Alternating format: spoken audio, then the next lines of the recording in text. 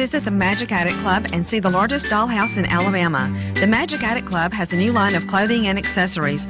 Plus, the stork will be bringing a new baby to Young at Heart. Arlington Plaza, Madison, and 2nd Avenue, Decatur.